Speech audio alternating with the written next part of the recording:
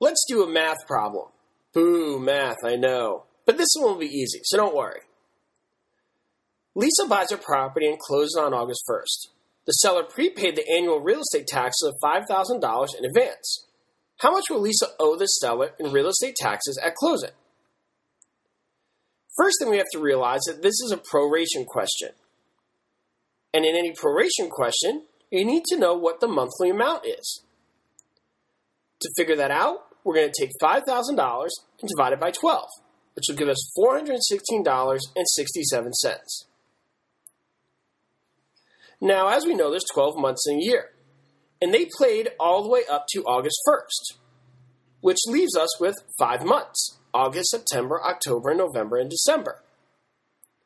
So we take that five months and times it by $416.67, which will give us $2,083.33. So as we look at this question again, Lisa buys her property and closes on August 1st. The seller prepaid the annual real estate taxes of $5,000 in advance. How much will Lisa owe the seller in real estate taxes at closing? Now we know the answer is $2,083.33.